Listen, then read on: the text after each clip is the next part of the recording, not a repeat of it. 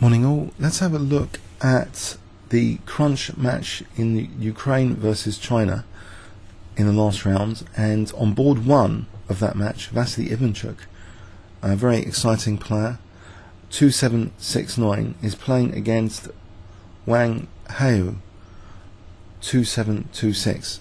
So he plays d4, and we see knight f6. After c4, e6. Is it going to be a Nimzo Indian defence or a Queen's Indian? After knight c3, Ivanchuk doesn't mind the pin, the classical Nimzo Indian defence, named after Aaron Nimzovich, author of My System. Okay, he plays e3, which is the Rubinstein variation, very solid continuation, which uh, a former club player of mine, Steve Weston, uh, rest in peace, he, he recommended as white in this position as one of white's strongest moves available. It is very solid. It does lock in bishop though. Okay. After castles, bishop d3. And now we see d5.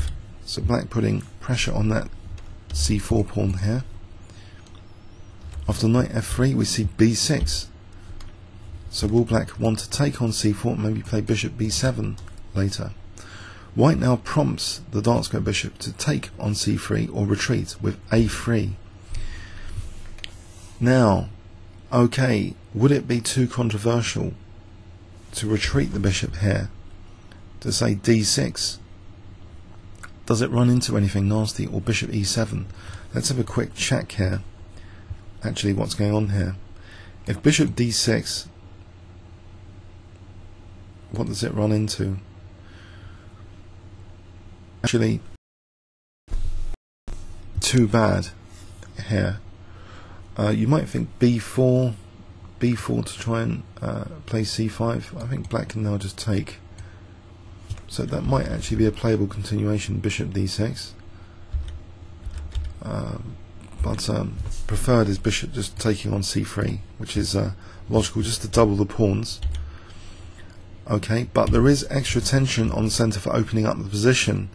Um, usually, if if you take on c3, you'd want to sort of often play d6 and say something like knight d7, e5. Try and keep the position closed. With the central tension here, it seems as though the bishop pair is going to have more scope. And with the pawn on d6, this diagonal isn't as dangerous. But on d5, it looks a bit scarier for the bishop pair potentially. Black plays now c6. Okay, strengthening d5 as though it's a kind of Slav Nimzo-Indian hybrid. Now white takes on d5. Okay, and again, it looks as though the position's opening up a little bit after this. So queen e2. This diagonal in particular seems ripe later for a4 and bishop a3. Knight c6, as though the idea for black is the c4 square. If you can play a move like knight a5 and try and put pressure on this backward pawn, as we've seen in some other games in this tournament, then will black have sufficient counterplay? After castles, black does indeed go for knight a5, and now we see this, this diagonal. In the Winawer variation of the French defence, this diagonal was often important for white trying to get a bishop across it to exploit those weakened dark squares. Black hasn't got a dark square bishop in this position, so it makes this move particularly effective. Rook e8, now knight e5, and it's difficult to challenge this knight. How can the knight being challenged that easily?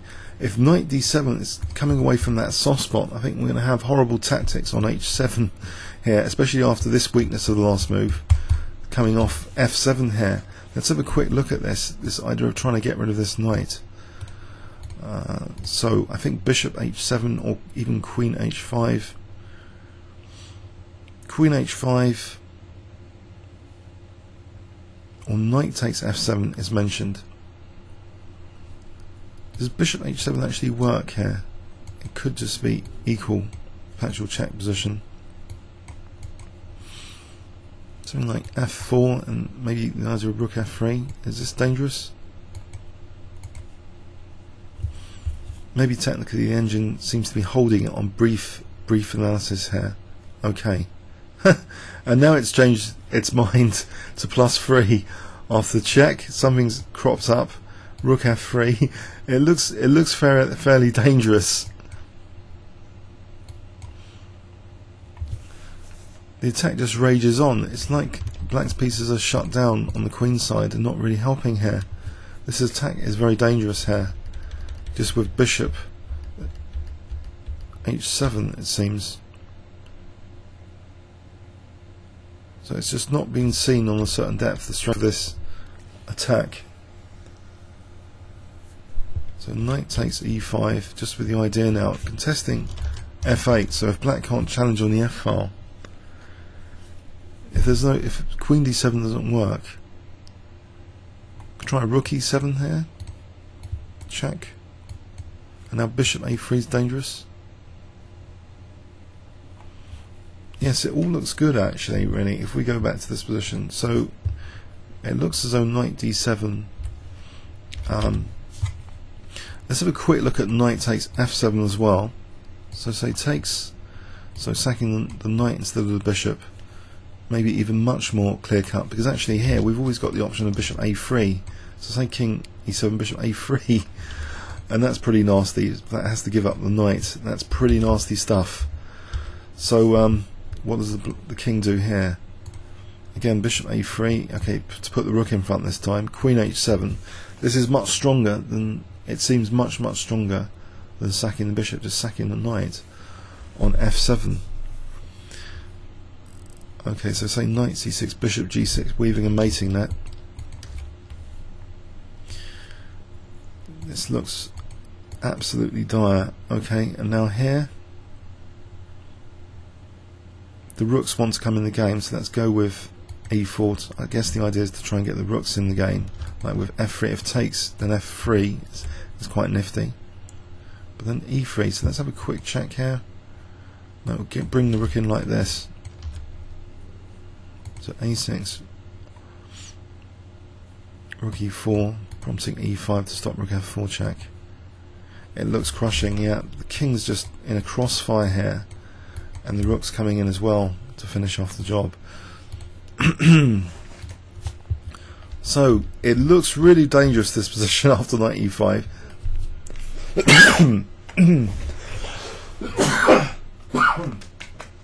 Pardon me. Pardon me. So black played knight e4. And this knight's kicked now, just with f3. So if he takes on c3, I wonder about queen c2. Isn't that just trapping the knight? Uh, it can't take on c3 surely. Knight takes c3. Just queen c2, okay. And if queen c7, this pin, you just exploit the pin, surely, until to, to win a piece. Um, it's winning a piece, isn't it? Nope, knight e2 trick. if takes, then there's queen c2. Got to be careful here. But bishop h7, okay, let's go with bishop h7.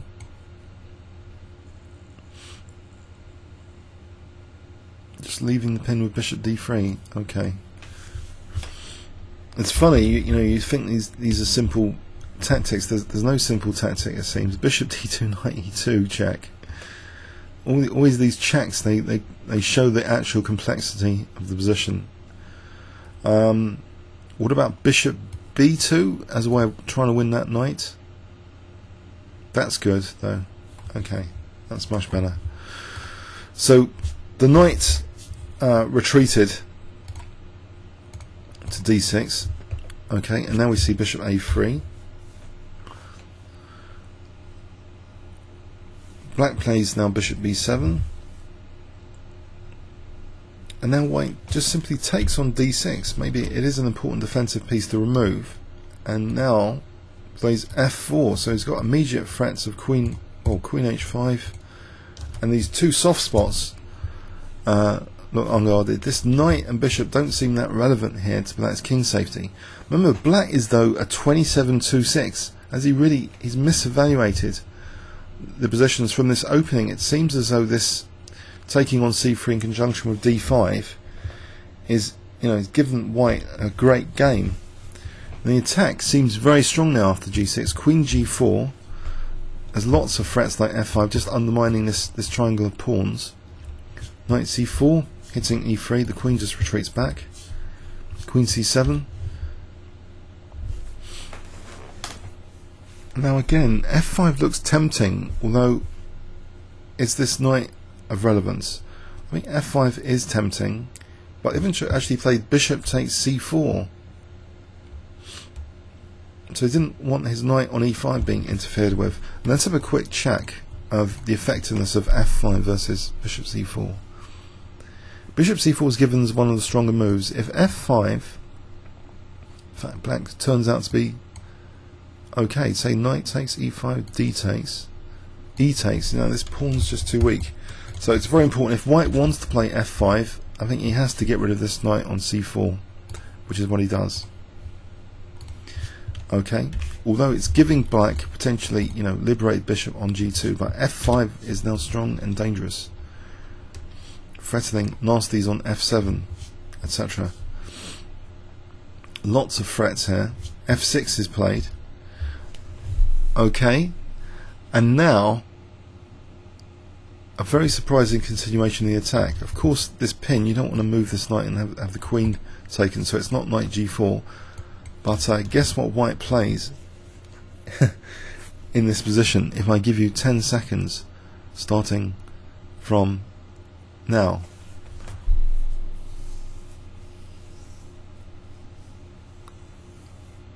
Okay, white plays fg, he's just sacking a knight. It's very Tal-like, this game.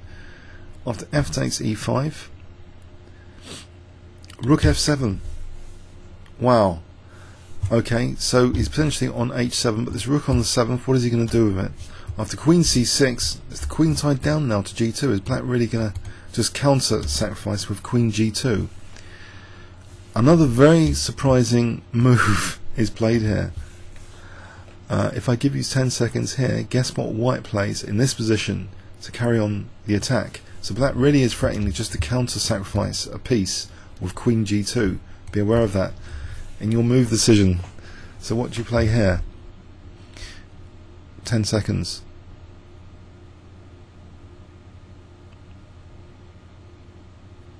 Okay, brilliant stuff. G takes h7, offering the rook now. So there's two pieces being sacrificed now. So the rook's taken, and now we've got an attack running with checks. Check. Or is it? Now queen g7 looks tempting but maybe not as good as the game continuation. Uh, this is maybe a very, very important moment. Um, Queen g7 or another move. What would you play in this position if I give you 10 seconds here?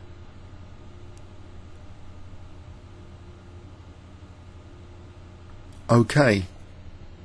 White plays actually h8 first, queening he wants the rook away like this to be able to maybe make this more effective. Let's just check this out. In this position, does actually queen g7 have any effect? Yes, it does. It's a strong move as well. so king d8, you just queen here, and the attack rages on anyway. So okay, a little finesse, just making sure. so h8 first. Okay, queen g7 check. The king ventures to d6 here. It looks as though this is the lawnmower coming out here after king d8. Um, he went to d6. If he goes to d8, let's quickly check this out. If if check here, now if queen e8, it looks as though rook f8. If king d7, it looks as though the king's being brought out horribly after rook f7 check. In any case, if it goes here, then queen e5. So in the game continuation, uh, we saw King d6 straight off the bat. Um, I think now this this is this is interesting. If if Queen e5 is strong, but what was played was actually d takes e5 check, offering the king the opportunity to go to d5. Now with this move, actually black resigned. It looks as though that there could be a forced mate with rook d1. Let's check this out. I'm pretty sure rook d1 is a forced mate. It's a mate in 3. So queen g5 threatening queen f4. Is that absolutely the strongest move? Is there a check move instead? If you want to run with checks, it's possible apparently. Running with checks until queen f4. A sort of reassurance of running with checks, but technically queen g5 is the quicker mate here. If black tries to contest f4, then rook d4. So that's two threats of queen f4 and rook d4 being set up there, with queen g5 simply protecting the e3 pawn. What a Tal-like game, indeed. What a Tal-like game. Let's uh, delete those remaining moves after that king d5. Let's check out. Was there really no, there was? I guess absolutely it was no defense, but um, so here it's just the mopping up job. Let's have a look in overview and summary. It looked like a Nimzo Indian gone wrong, actually, because this idea against the Rubinstein variation, um, where White's got the bishop pair, but d5 looks as though some sometimes Black can retreat here and take on c4, and this bishop's okay here on this diagonal. It's a different type of position altogether. But instead, Black giving up the bishop there seems a bit suspect with the potential for the position just naturally opening up. And in particular, this this diagonal is sensitive here. For that, it's like white's got an extra piece on the dark squares here, a menacing piece. And that affects the soft spots really. If you look at the soft spot vulnerability here in this game, especially after knight e5, the knight being kicked. But it looks as though, yes, this is very dangerous now after bishop takes d6. Very interesting decision. He's really making the most out of this rook, naturally placed on f1, to blast through on the king side. Very strong attacking pressure. That knight, which is now stumbled towards the centre, is just captured very shortly now, as a prelude to playing f5. It's a very, very Tal-like attack now sacrificing the knight first, and then now against this queen g2, sacrificing the rook for a beautiful final king chase. I think this is must be one of Ivanchuk's nicest attacking wins in the tournament. And what a great recovery! And with the, with this win, uh, dramatic changes of results. That China were knocked into fourth position, and Ukraine snatched the third position. So very, very crucial win uh, for Ukraine over China in round 11. Hope you enjoyed this game. Comments or questions on YouTube. What a brilliant game. Thanks very much.